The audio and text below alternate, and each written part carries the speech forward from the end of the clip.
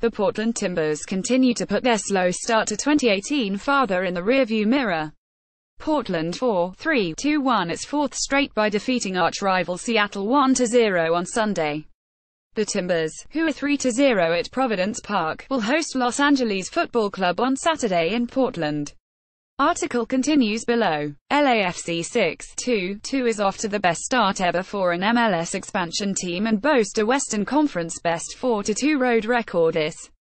Just five teams won more than four road games during the 2017. I see things that are going in a good direction.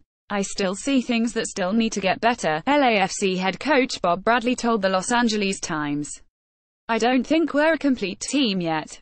That's what we work toward. In its latest test, LAFC claimed a 2-2 draw with New York City FC. This game felt like there was more on the line, Bradley said during the post-match press conference, adding that it was the best game, the biggest test of his teams so far. NYCFC coach Patrick Vieira left Los Angeles impressed.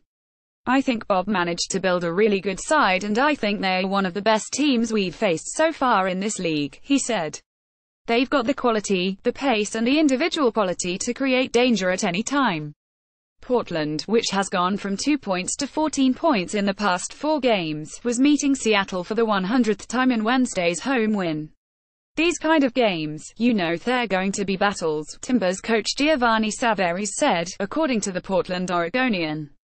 I'm just proud of how the guys continued to battle, how the guys continued to be disciplined, how they worked so hard through the entire match and how they found a way in the end to get the result we wanted.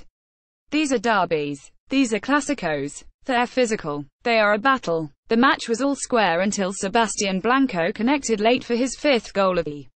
To get the goal in the last four minutes was amazing for us, Blanco said. The Timbers set a franchise record with a ninth straight MLS home win. The streak is second only to San Jose's 12 straight home wins from August 2001 to July 2002. It was also Portland's third straight shutout.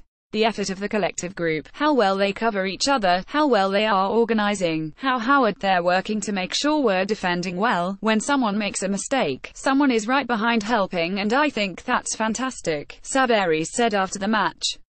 I have to give a lot of credit, not only to the defenders, but as well as the offensive players that are working very hard defensively to make things more difficult for teams.